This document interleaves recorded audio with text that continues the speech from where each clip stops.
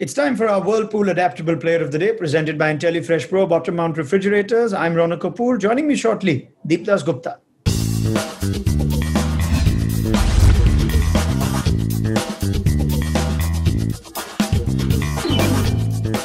Right, Deep. Ruturaj Gaikwad is uh, turning this IPL around personally. The team's season is gone, but we saw the quality of Gaikwad at the top of the order, nearly taking his team over the line. You picked him as our adaptable player. Your thoughts?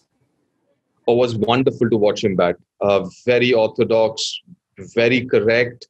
Doesn't have to be those airy fairy shots, which does work. Nothing against it, but you can also have a very orthodox technique and and do well in this format.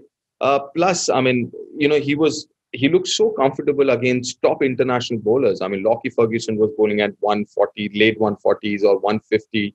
Cummins, he looked extremely comfortable, had enough time uh, to kind of play his shots and also against spin. Uh, we're talking about Varun Chakravarthy and Sunil Narine.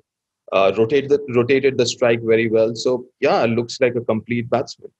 I mean, it's for a CSK fan, you'd be thinking now, if only this team had trusted the youngsters earlier on. If only this new age of cricket would have been given a little more faith early, while the season was going off, maybe it would have been a different story.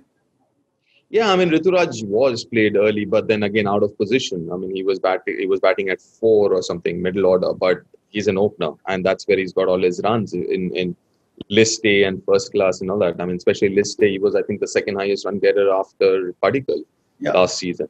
Uh, so yeah, I mean, uh, listen, at least they've they've got a few of those uh, uh, you know questions uh, that that they asked for, from their players, and they got a few of those answers there. Hmm. All right, Ruturaj Gaikwad, terrific to watch and uh, very instrumental in ensuring his team get over the line. He is our Whirlpool Adaptable Player of the Day.